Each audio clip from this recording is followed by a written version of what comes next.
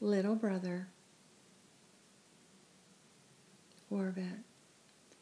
Christmas is coming, and we all have loved ones that are with us in a memory.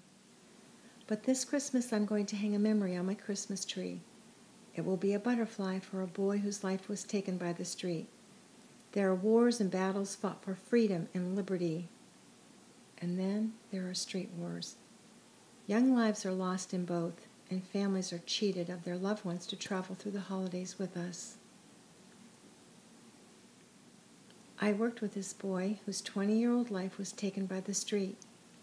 Long and lean, and a boy who I found I could count on for team volunteer work. There were underlying tones of humor expressed by his knowing his first comments of mild resistance in a project was always met with absolute dedication to a completion.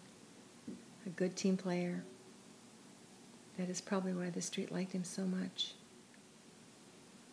When the news came over TV that this boy was shot and killed, it sank my heart. It wasn't fair he was relegated to becoming a memory most listeners to the broadcast would not know what was lost. Today I talked to his best friend, and we reminisced memories. A best friend who is 17, in the 10th grade, is dyslexic, and the name of their street is tattooed on his arm. I asked him what he remembered most about his childhood friend. He said every day would greet him with, Hey, little bro, what you getting yourself into today?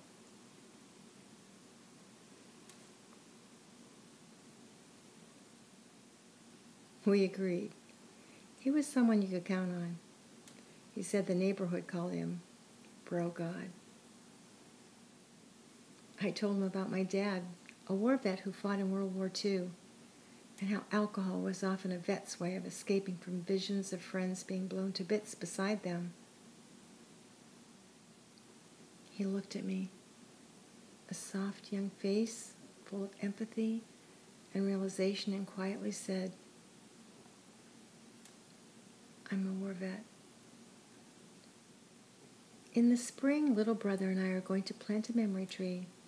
I want that tree to go big and strong, and I want him to bring his children to visit that tree and talk about Big Bro's memories. At least, that is what we talked about today.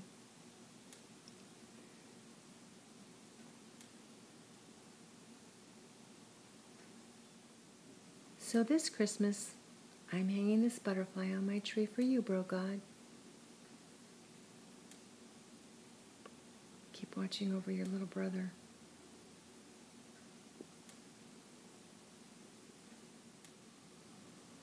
Written for Devon in memory of his big brother.